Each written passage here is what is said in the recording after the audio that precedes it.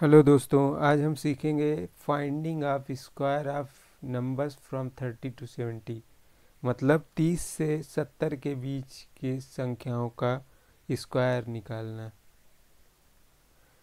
तो यहाँ पर पहला एग्जांपल हम ले लेते हैं फिफ्टी फोर तीस से सत्तर के बीच जो नंबर्स होते हैं, उनका स्क्वायर निकालने के लिए हमें बेस फिफ्टी लेना पड़ता है। तो हम यहाँ पर सभी सवालों में जब जितनी भी नंबर्स होंगे, उनका बेस हम फिफ्टी मानेंगे, ठीक है?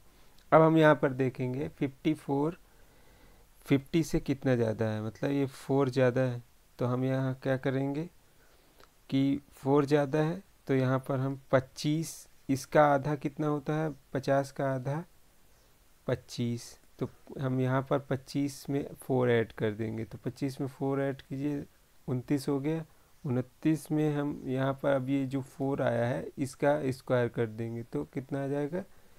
सिक्सटीन ठीक है? यही इसका आंसर होगा। इसके बाद हम अगला एग्जांपल लेते हैं। फिफ्टी नाइन ये फाइव फिफ्टी नाइन का स्क्वायर जब हम निकालेंगे तो ये कितना ज़्यादा है? नाइन तो इस, हम पच्चीस में नौ जोड़ देंगे तो पच्चीस में नौ जोड़ने पर कितना आ जाएगा? Thirty four. और नौ का स्क्वायर करेंगे तो कितना आएगा? Eighty one. ये इसका आंसर हो जाएगा। इसके बाद हम अगला एग्जांपल लेते हैं। Thirty four. अब ये क्या है? थर्टी फोर फिफ्टी से कम है। कितना कम है? सोलह।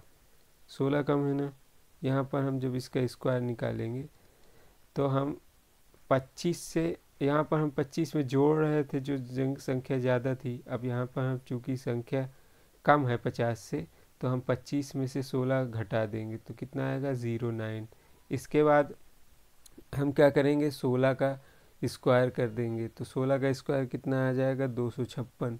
तो यहाँ पर दो दो सौ छप्पन को हम टू फाइव सिक्स ऐसे लिखेंगे और इसको ऐड कर देंगे। मतलब यहाँ ये जो दो आता है, ये इसको हम कैरी फॉरवर्ड करना होता है।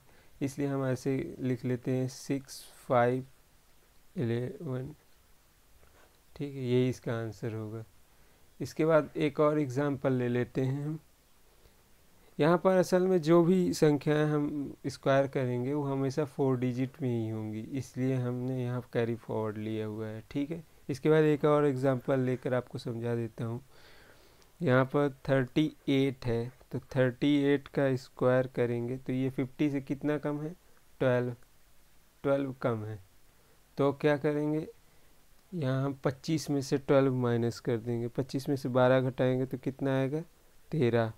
अब हम इस बारह का स्क्वायर करके यहाँ लिखेंगे तो स्क्वायर करेंगे तो कितना का, बारह का स्क्वायर होता है एक सौ चौवालीस। तो चौवालीस यहाँ लिख दिया, एक को यहाँ कैरी फॉरवर्ड किया। आंसर आ जाएगा इसका वन फोर फोर फोर। एक और एग्जांपल हम ले लेते हैं, सिक्सटी नाइन। यहाँ इसका स्क्वायर निकालना है, ये कितना ज़्यादा है? ये उन्नीस ज़्यादा है फिफ्टी से। तो हम क्या करेंगे? यहाँ पर पच्चीस में उन्नीस जोड़ देंगे। तो पच्चीस में उन्नीस जोड़ने पर कितना आएगा? फोर्टी फोर अब उन्नीस का जो है स्क्वायर करेंगे। इस उन्नीस का स्क्वायर कितना आएगा? थ्री सिक्सटी वन तो थ्री यहाँ कैरी फॉरवर्ड कर देंगे, यहाँ सिक्सटी वन लिख देंगे। आंसर कितना आएगा?